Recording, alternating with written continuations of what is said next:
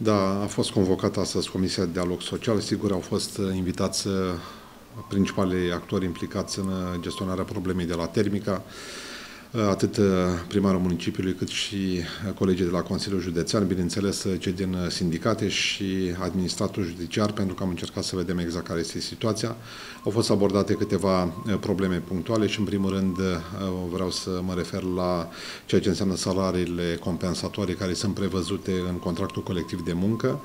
pentru că dacă problema legată de venitul de completare a fost soluționată odată cu uh, aplicarea șomajului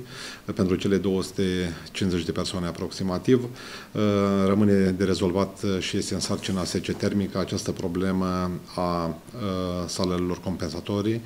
uh, pentru că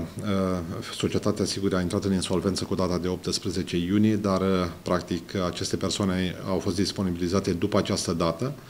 și sigur că da, este o datorie actuală a societății după ce a intrat în insolvență, nu este o datorie dinainte astfel încât uh, în acest moment este o prioritate atât pentru administratul judiciar cât și pentru noi să găsim soluții pentru a identifica sumele uh, necesare pentru rezolvarea acestei probleme. În acest moment, uh, municipiul Suceava are o datorie legată de subvenția care a fost acordată pentru gigacaloriile furnizate populației în anul 2013 de 3 milioane de lei. Totodată populația este o datorie destul de importantă, 15 milioane, din care 6 milioane efectiv este marfa care a fost furnizată populației, iar 8 milioane sunt penalitățile care au fost acumulate în timp. Uh, iar în ceea ce privește această posibilitate imediată de a realiza plata, discutăm de faptul că primăria va uh, furniza societății suma de 500 de mii în această lună și totodată acea sumă va fi virată în uh, luna decembrie. Administratul judiciar, sigur, va lua în calcul și sigur are o prioritate pentru a rezolva și această problemă pe lângă celelalte datorii, pentru că insolvența înseamnă să nu mai faci alte datorii în plus, înseamnă să închizi pe zero activitatea astfel încât, sigur, să nu mai genereze genereze datorii ulterioare după data de 18 iunie. Uh, sigur că da, în ceea ce privește celelalte probleme legate de transport și de distribuție, au fost abordate și acest subiect, uh, pentru că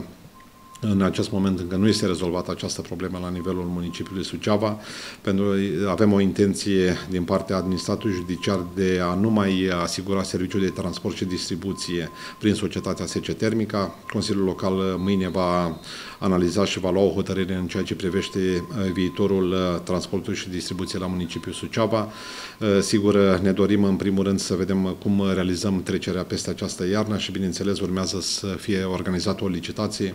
pentru a se concesiona acest serviciu către o nouă entitate care uh, sigur că da, se va înscrie la licitație undeva în uh, cursul lunii martie-aprilie, uh, conform procedurilor, dar este important să găsim o soluție în acest moment. Practic o să avem o discuție legată de continuarea activității pe SC Termica sau în caz că această entitate nu mai dorește să realizeze transportul în mod real, categoric va trebui găsit o soluție de forță majoră, există o Uh, intenție în acest moment și sigur ea va fi luată în calcul. Este un atribut al Consiliului Local. Uh, bineînțeles, încercăm uh, cu toții să rezolvăm și această problemă pentru că ne interesează să asigurăm căldura pentru populația în această iarnă.